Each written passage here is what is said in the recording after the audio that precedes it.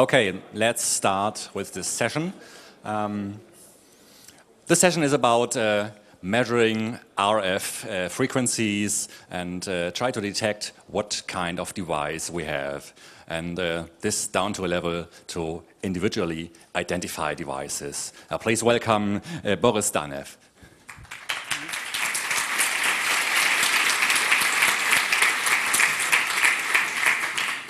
Okay, thank you very much for your attention.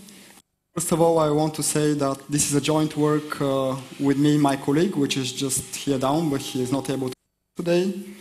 So we will be able both to answer questions if you have, and I hope you enjoy the talk. The talk. Uh, don't be afraid, the name is different of the presentation, but we will be talking exactly about the same things that is originally on the schedule.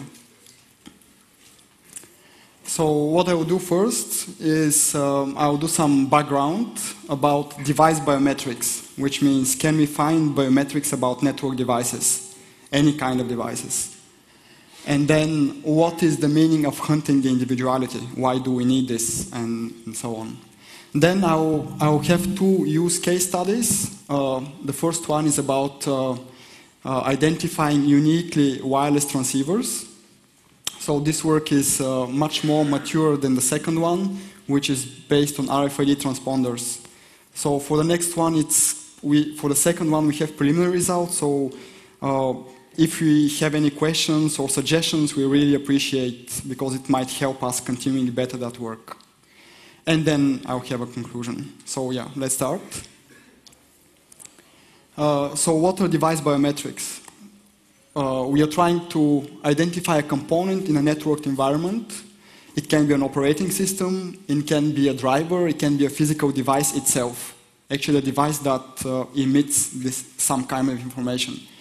And usually, how we do this, how we, we try to build some kind of device signatures based on the analysis of the communication with that component or device, with or without um, uh, the component's knowledge. So the device might know that we are trying to uh, find some unique signature, or it might not know. And uh, this is also commonly referred as device identification, and uh, it spans a broad spectrum of technologies, like wired, wireless, uh, any type of protocols, and so on.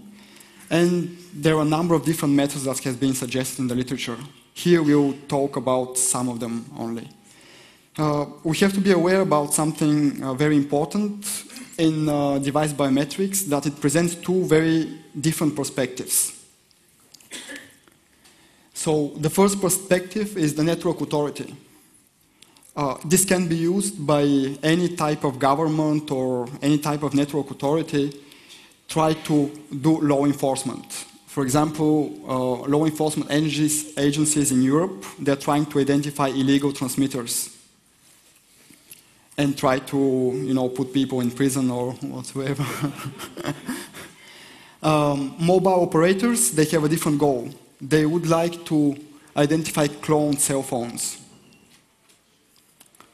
Um, if you're a network administrator, you, you would like to identify, identify track problematic hosts. And um, of course, you can include some other type of protections against identity spoofing and so on. So if you're able to have some kind of a unique signature of a physical device, even if someone tries to spoof the identity by changing the SSID or MAC address or whatsoever, he will not be able to penetrate the system if his physical signature doesn't, uh, doesn't comply with what you have in your database. So you can think about this as a kind of a really biometrics, but for network devices. So what is the next uh, perspective? It's the attacker's perspective, of course. Then, get, thanks to this kind of fingerprinting on building signatures, an attacker can identify variable targets, host on the network, and this is commonly, you all know very well, commonly used now, in a network. Uh, it can also be used for privacy violation. So if we're able to build these, uh, these signatures, we will be able to track people uh, just by uh, observing the traffic. And we don't need any kind of identifiers or whatsoever to read from the traffic. And we can also use it for protocol compromise. Um, here I mentioned uh, it was a recent work last year or two years ago, I'm not sure, shake them up. They build a protocol that is able to, um, to establish keys between two devices based on the fact that it's not possible to say which device sends the, the bits. But if you are able, during that process of key establishment, to recognize which device exactly it's sending, then this type of protocols will directly be compromised. So I will not go in more details about uh, uh, this protocol compromise, but if you look at the Shake Them Up uh, paper, then you see that uh, if you're able to identify the device, then the protocol doesn't make sense anymore. So what is the typical scenario of hunting the individuality? So usually we have a, a fingerprinter that observes the traffic to and from a targeted device, which we usually call as a fingerprint, fingerprintee, in order to find characteristics that distinguish the device or some of its components. And of course, fingerprinting uh, or signature making looks for characteristics in all layers application, network, link, and physical layers. In the next slides, I'll talk primarily on the physical layer because this is something that uh, it's believed to be much more difficult to spoof or to change because it's due to the inherent, inherent manufacturing and specification characteristics in the device. So even if you produce a device in the same manufacturing line, it will have different capacitors or different uh, um, resistors that will influence the, the way the device uh, um, transmits information on the physical layer. And uh, usually, as you see on the next uh, slot, this is, uh, these characteristics usually come from implementation problems, or not really problems, just how the system is implemented, and hardware imperfections, which are very hard to uh, actually try to make the same, like clock skews, for example. And there are two main approaches in fingerprinting. One is active, and the other is passive. The active one, you can initiate communication with the device if it's possible, like uh, passive RFID tags. You're able to query the device and see what its response is. Or passive identification, where you just observe how the device communicates with you. And this is usually in wireless transceivers. You can only observe the traffic. Okay, so this is, it was just general background, what is device biometrics, why we are hunting the individuality. And now I'll start with the first, with the first case, which is the case of wireless transceivers. Uh, so wireless radio specification manufacturing process are quite complex, complex nowadays. And the previous work has shown that significant differences in the behavior of the physical layer even within the same specification from different devices. Here on the picture on the, on the right and on the left is, the, is two different uh, uh, wireless cards which support 802.11 standard. And you could see that even if they implement the same specification with the same, uh, with the same um, mm, how to say, delays and what and delays and timings, you could see the difference. This is the picture shows actually before the transmission of the packet. This is uh, the part. This doesn't this work. Yeah, the packet at the beginning. This is just the noise level, and then before each packet transmission, we have a ramping up period, which is defined by the specification, and then after the ramping period, the power goes up to full power. Then the transmission starts, and you could see that the same protocol specification and on the physical layer actually has completely different uh, signals for these two uh, um, uh, wireless cards. And previous work has shown that uh, different manufacturers are kind of very easy to distinguish each other just on observing this, uh, this physical communication at the beginning. So then we decided to go a step further and see, okay, can we distinguish based on these characteristics even identical devices, which are the same hardware, the same uh, model, and same specification? And uh, in the next slides, we will show some results and also some limitations of the approach and also some attacks that uh, we found relevant in this type of techniques. So what is the motivation about looking um, uh, at identical devices? So uh, we would like to have reliable identity verification of wireless devices for various reasons, like we want to detect illegal transmitters, we probably want to detect if someone has spoofed your MAC address and trying to pretend to be yourself. So uh, it also can be done for device cloning or key compromise. And uh, that's why we decided just to go and dig on the physical layer and see what can be done there. And usually these characteristics, as I said before, they come from uh, just hardware imperfections in the device. So it's very hard for a manufacturer to just make all the devices completely unique so that we cannot just distinguish. It's also like human nature. I mean, we all have different fingerprints, different faces, and so on. So what was our setup? Uh, it's just gen the general picture. So we used for, the, for this experiment 50 uh, wireless sensor nodes. These are actually Tmote Sky sensor nodes. Exactly the same model. We purchased it at the same time, so they're likely to be also from the same production line. We just wanted to make sure that we have more or less the same, uh, the, exactly the same devices. Uh, then we built a, special signal acquisition setup, I'll present in the next slides, to collect the physical data uh, characteristics from each transmitted packet. This process actually is quite uh, crucial. We need to do it in such a way that we are not, we are not compromising or adding additional, let's say, noise or signatures in, uh, in the process, or at least minimize as much as possible. We always add, but at least minimize as much as possible. Then, then the typical statistical part starts afterwards. We try to extract features from that physical data uh, layer, and then try to see, compare with features that we have in other identification database. Is it our own device or it's another device? And for that, we used 50 identical devices. So are we able to say if it's our own device or it's another one. So that's the generic framework. So the first step, the first step is the signal acquisition. Sorry. Actually, here you can see our setup in, um, uh, in the building. Uh, this is the simplified setup.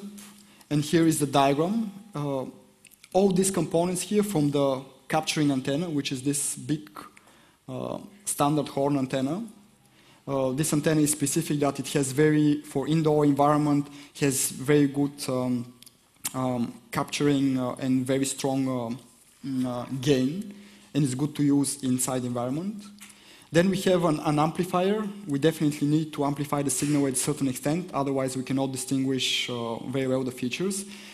Uh, this amplifier is quite critical, so we used a very low noise ultra low noise amplifier, quite expensive. It costs around uh, 3,000 uh, euros just for this um, experiment. If you use a normal amplifier, such as one on a, on a, on, on a device, uh, on a normal device, you're not able to, to find the small imperfections in the signal.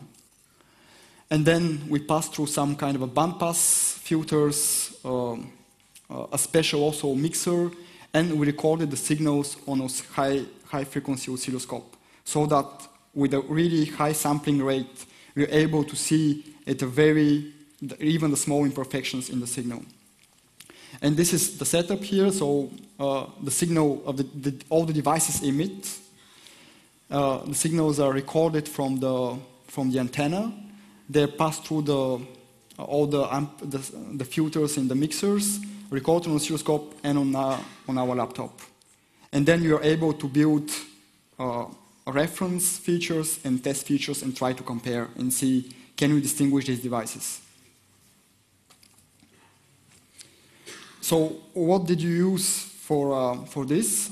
So the 802.11 uh, B protocol defines a ramping up period before transmission starts. So this is, so here we have the noise level, then the signal will gradually, the specification defines a time uh, for ramping up the signal to full power. And then here, actually, the, second part is the actual transmission. And this shape of the physical layer, you see it on each packet transmission in a 802.11 device. Uh, why this is in the standard? It's usually for uh, the gradual ramping ensures that there's no spectral interferences within same devices. In the, it's kind of a uh, make sure um, that we don't uh, interfere that much. So the signal goes gradually powered up and not directly. It, it could be, it's perfectly possible to directly ramp up the signal at the beginning. So we use this part, which it's usually referred to as the transient part, and you extracted some statistical features from it based on uh, different spectral transforms, which uh, I'm not mentioning in the presentation. And, uh, and the results were quite amazing. Uh, after we also trained the system using uh, some pattern uh, recognition classifiers, then we are able for 50 identical sensor nodes to have a recognition accuracy of almost uh, 99 or 100%. So in 99% of the cases, we are able to say if it's uh, node number 1 or node number 50 or 49 or whatsoever that is transmitting at that moment. And this was under the same conditions of the signal. So the nodes were positioned uh, exactly the same distance from the antenna so that we don't interfere in this ramping up signal. Um, so under the same conditions, they were, these features here were distinguishable. Even though if you look on different samples by just uh, eye uh, visual inspection, you could not see a difference. But the statistical meanings uh, could find the small imperfections in, inside this ramping up signal. And uh, here, actually, we varied uh, the recognition. This graph shows the false accept and the genuine accept rate for different types of, for the number of signals that we use to extract the features. So if you use more signals from the device to extract the features, like 40 different packet transmissions, then we had the highest accuracy. As long as you use less, uh, less signals to, the, to build the characteristic features, then this accuracy drops quite significantly here. So this is due to the fact that uh, using less number of signals has more noise. So we more we round up um, average over multiple, multiple samples, better the performance is. Uh, and these results are also kind of comparable to biometric fingerprint recognition with uh, an equal error rate of around 0.24% that, uh, that was our finding, even on identical same hardware, same model uh, devices. So afterwards, we, this experiment on, on, that, on this site was under the same conditions, so same distance from the antenna, uh, same antenna polarization, so that we don't disturb the, the shape of the signal. And then we decided to see what will happen if we go over a bigger distance. The initial experiment here was done over 10 meters, so we collected the signals from 10 meters of, from the sensor devices. So on this one, we decided to see how far we can go. And uh, we used uh, a university parking space, uh, which is uh, like 40 meters distance. So we collected the signals from 40 meters. Ex exactly the same conditions again. And the accuracy was exactly the same, more or less, uh, within the statistical error. So even with high over a very high distance for this sensor device, which transmit around, the maximum is around 150, between 50 and 100 meters indoors, we are able to distinguish which device has emitted the signal. Then we also performed some experiments on the voltage. So we tried to measure what happens because these devices run on battery supplies what's happening if the, the battery goes down and uh, to reaching uh, its end level. Then also the shape was consistently uh, unique within different voltage levels. Where we had problems and where the system didn't work very well is when we tried to do on different antenna polarizations. Uh, we just tried to vary the antennas of the device between each transmission and see if, uh, if these features are preserved. And then we could say that uh, from around 10 sensors that we used for this experiment, only four were kind of consistently recognized. So if someone is changing the, the antenna polarization of the device, this has an implication on, on this shape change here, and then our features were not, in, not good enough to, uh, to say, oh, this is the device one or device two. We are currently exploring other techniques in order to solve this issue, and uh, I don't have uh, results, but they're usually promising that even with changes of antenna polarization, by using some smart statistical training and kernel methods, we are probably able to distinguish even between different antenna polarizations. So that was uh, the part about uh, wireless transceivers, and I'll go forward with the cool stuff, which is RFID tags. Are there any questions at that level? Yes? What about temperature? Yeah, temperature, we, we didn't test extreme temperatures. We tested only on temperature on uh, indoor temperatures, and there were no differences. What about how long the device has been running? Yeah, we also tested on, uh, we ran it like for, usually this experiment was like for 20 minutes, and also for one hour, and there was no difference. This is kind of a, not a problem given the fact that these are low power devices. The thing, what we didn't test is that these were all the time regular transmissions we did not test if the device transmits very intensively for some amount of time and then it stops. This we did not uh, experiment in this, uh, in this setting. We just use regular transmissions, 500 milliseconds per packet for uh, one hour. We could see some deviations at some moment, but they were, they were not influencing that much the accuracy, plus minus 1 or 2%. Yes? How much signal do you need? So how much uh, data do you need? Yeah, so for building one signature, so this is, we, we kind of vary from 5 to 40. So if you want more, like the best accuracy we get after kind of a, if you see the graph here, after 30, the accuracy is almost the same, so around, yeah, 30 packets. Yes.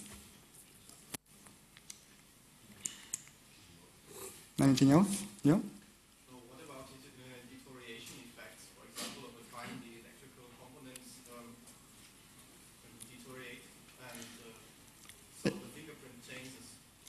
What kind of electrical? So I didn't understand. The electrical components of these wireless devices over time, they age. Yeah, they age. We, yeah, that's that's something that we have not tested uh, over aging. If we use it, uh, I actually intend to do these experiments uh, after six months again and see what happened with the devices.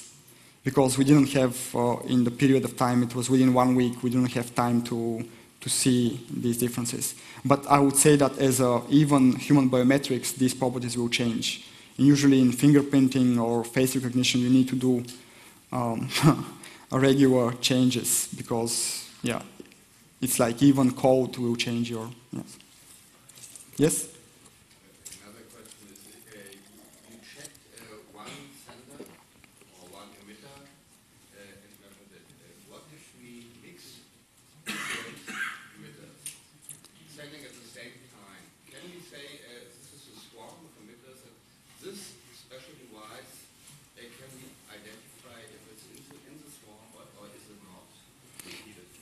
Yes, so the question is, uh, uh, is this a setting where only one emitter is setting at the same time or multiple emitters? So in the results I present here, uh, especially this graph, is one signal emitter at a time. So we kind of uh, got rid of, of uh, any noise coming from our devices.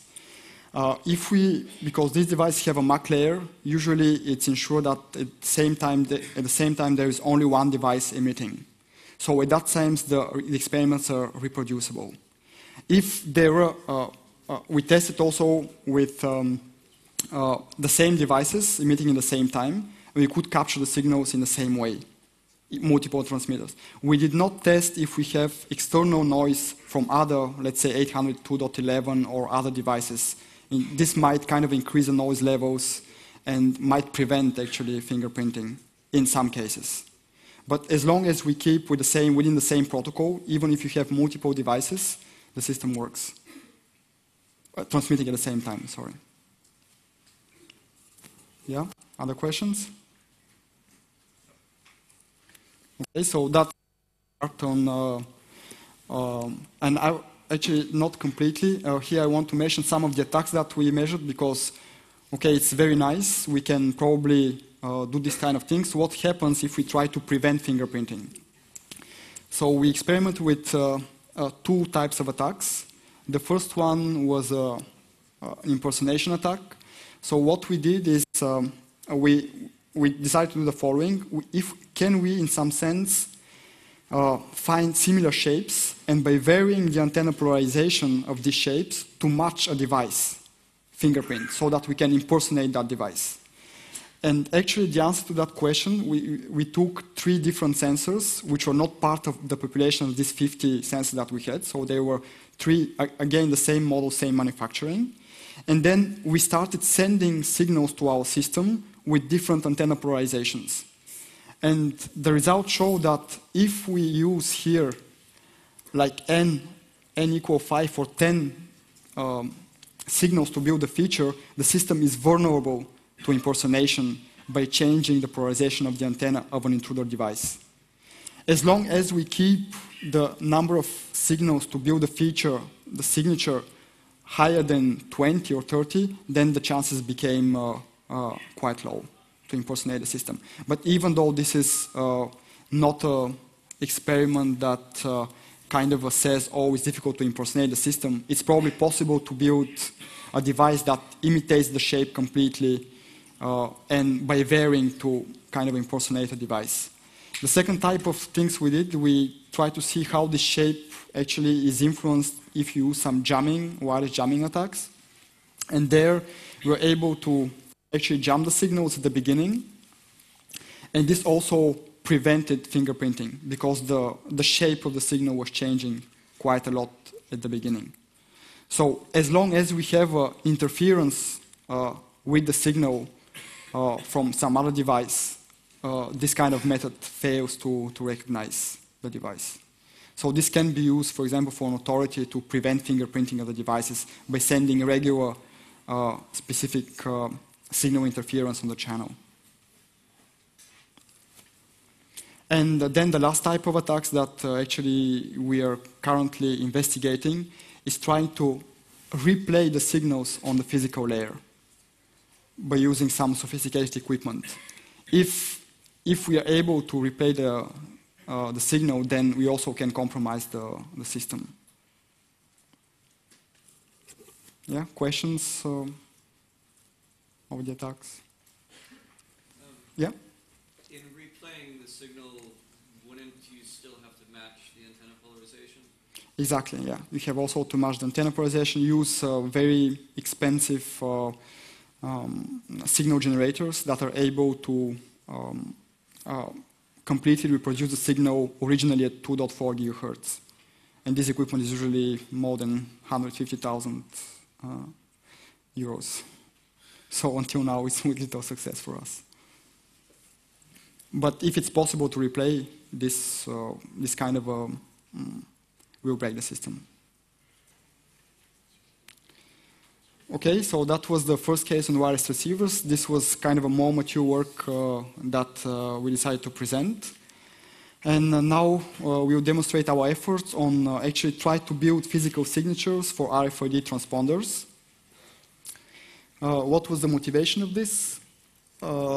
actually, this slide is probably, yeah. So if we're able to do some identification or classification, we will probably be able to detect cloned or counterfeit devices. Uh, and we also, if you can build signatures, we probably can complement, complement some security, security mechanisms, uh, existing security mechanism for authentication, for example. And of course, on the attack side, we can subvert privacy systems at the hardware level. So the goal for us here was to try what kind of physical signatures we can extract from, uh, from um, uh, RFIDs using, um, uh, using the physical layer. So here I just want to put a small video which uh, I really liked. Uh, it was a, a, guy from from Holland. Probably he's some here, some probably here. It's in the group or not, but uh, we really liked uh, his work. So he was able to uh, clone his own uh, Dutch passport, which contained an RFID chip with data, and he was able to present that to a web check-in terminal and get accepted with a, with a picture of, of Elvis Presley. Okay, so here is the demo from his website. I gave the details so you can go and look by yourself afterwards. Uh-oh. Very nice.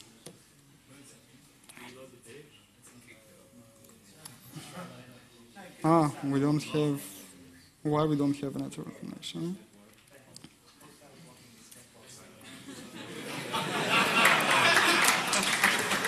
Exchange with your phone, so. Yeah. Boris, keep talking. If somebody near the front would be so kind as to load it, so that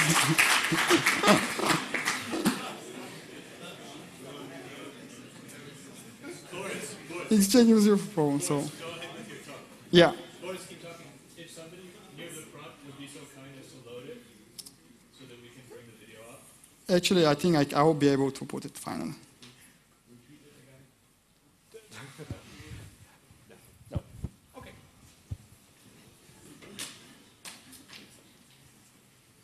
Huh?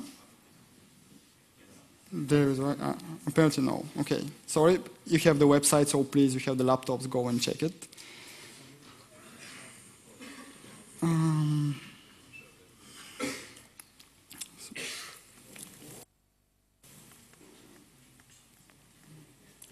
okay. So what uh, Fonjik did is uh, he was able to uh, to break the system and go and present his fake uh, GCOP card on the web check-in. So we decided to see, okay, can we do something against this? Of course, if we clone the, the data, we cannot distinguish which, if it's your own passport or something else.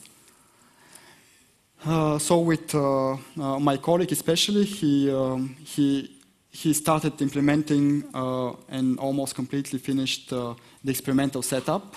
So we built uh, an RFID reader ourselves, uh, which is just these two generators. One was used to uh, generate the, uh, the envelope of the signal, to implement the, I'll show you later, to implement the commands of the RFID reader. And the other one is the carrier generator that uh, carries the, modulates and carries the, the data. Here we can see the transmitting antenna. So our signal from the, from the generators were going to the transmitting antenna, and here we had an eavesdropping antenna. So we were able to record on oscilloscope again the transmission physical, the physical layer of the, of the RFID transponder. Uh, so some things that we uh, that he had to really take care of was to make everything completely stable, so that we don't have any antenna differences or whatsoever. So uh, we built this kind of a, a wooden device, fixed. Here it's uh, it's explained, so that we have all the time, every time we put a, an RFID transponder, it has exactly the same conditions, so that we don't introduce any signature due to different positioning or antenna polarization or whatsoever. And uh, of course, everything should be non-metallic to avoid uh, um, to avoid uh, interferences. So that was kind of our lab in that time. And uh, here we could just say about the the, the transactions. So uh, the devices uh, respond to two types of commands according to the specification. One is type A and one is type B. Here's a typical wake up command of the B of the B uh, of the B protocol, the type B. Beginning the device needs to be uh, uh, powered up for some amount of time. And this ensures that every time afterwards we have a different uh, uh, PUPI number, which ensures against anti-collision. And then we have the wake up command. Here is the data. It's 10% ASK modulated uh, over. And then here afterwards, this part is the response of the device, which contains the PUPI and some other modulated data. So how we can build the signature from this? Uh, no, sorry, I'll talk about yeah, the response first. So afterwards, after we send this command from our fake reader, we get the response of the, uh, of the device, which is in binary phase shift keying. And usually uh, it's, uh, the subcarrier is 16 times less than the carrier frequency, which is around 13.56 uh, megahertz. So this is how the response looks like in more details. Um, here we have the anatomy of the B of the A protocol. Sorry. So here it's a completely different uh, modulation, uh, modulation scheme. It's a 100 ASK modified Miller encoding, again at 106 kilobits uh, uh, baud rate. And here we see the response of the, of the device. So the response is on-off keying of the data that comes out. And it, again, it has the PUPI number and everything the same. And every bit starts with defined phase relation to the subcarrier. So what we did afterwards is that, okay, we could closely simulate the RFID reader. So we sent him a standard command. And then afterwards, we decided to vary the, the frequency of sending the data and also the baud rate. And you, you can see on the next slide, actually, this you try to see how the device responds to different type of out-of-spec frequencies and, uh, and baud rates. And here on this slide, we can see some uh, really nice results. So this, on the first graph, we could see the, the standard command at 13.56 megahertz. It's almost like a real reader. Uh, if we have a frequency which is close to 13.56, we observe uh, a, also a good response, but different timings. We could not see this from this picture because it's not zoomed enough, but the difference between the end of the command and the start of the response from the device changes on different frequencies. Uh, if we try to go a little bit out of spec of the, of the, of the frequencies, like uh, 10 megahertz, we can see that the device tries to respond.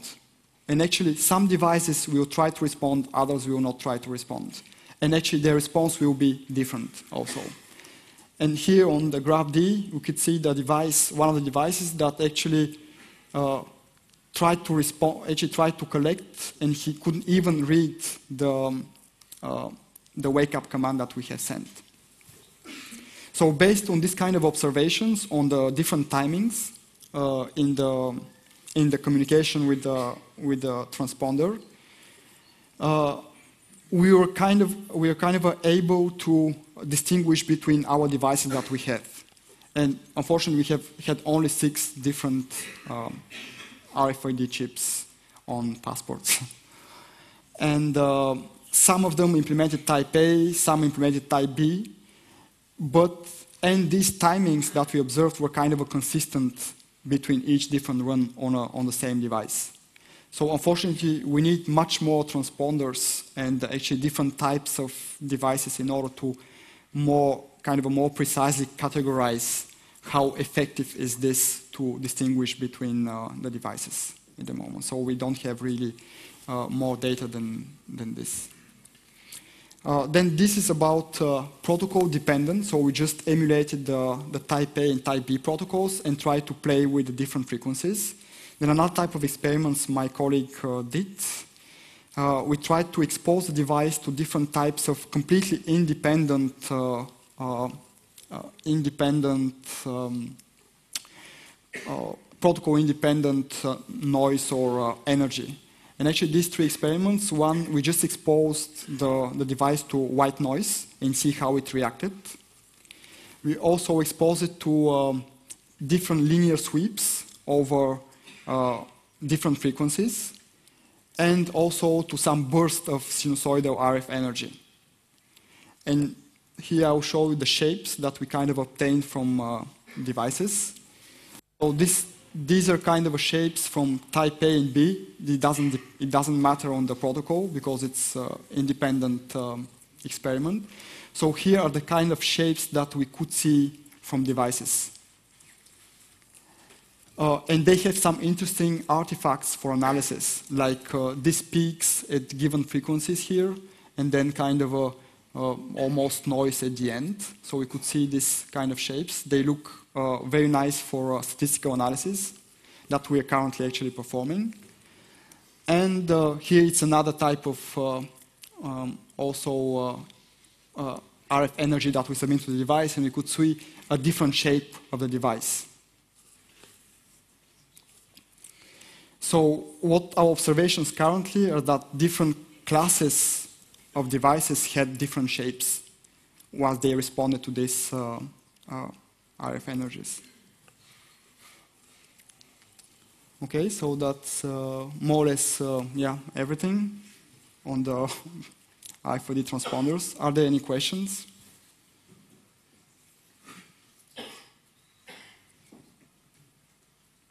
Yeah, it's, um, so a conclusion, yes? Uh, you only try passports, so Yes. active devices. Uh, Passive devices. passive devices. Passports are passive. Yeah, they just respond, they, yeah, on some kind of a command.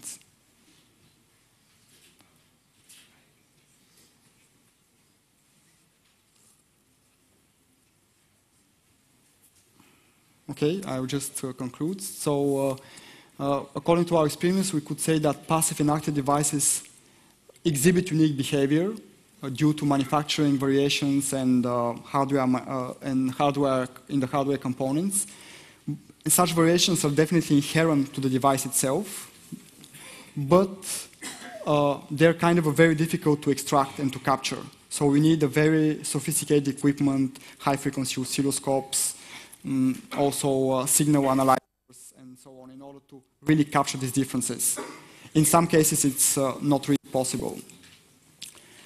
And uh, this kind of individuality, if we can uh, find it, it can be useful in both defensive and offensive scenarios, as I mentioned previously. So that's um, everything on my side today.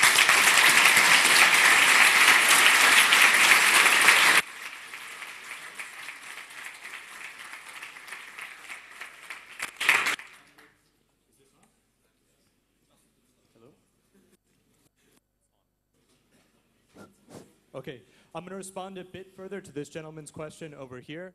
Um, he was asking about the kinds of transponders we've looked at.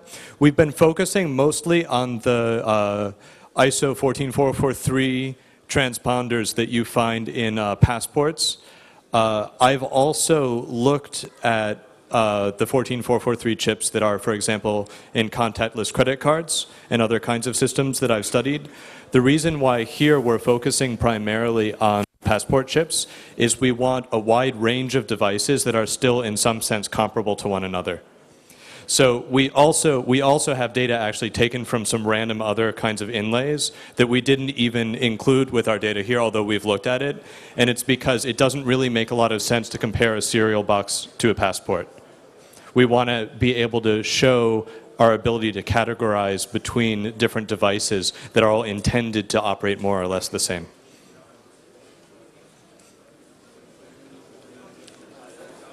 Any other questions?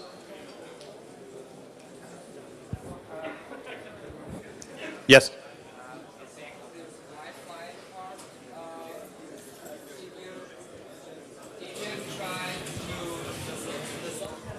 Uh, did you try to reproduce your results with different antenna polarizations uh, and try to make some, try to uh, compute the polarization out uh, so uh, to make it neutral to the polarization of the of the antenna we are collecting the same data uh, with only different polarizations so you can build a match on each one Yeah, I understand. So the question is uh, if we can compensate the antenna polarization and try to match again.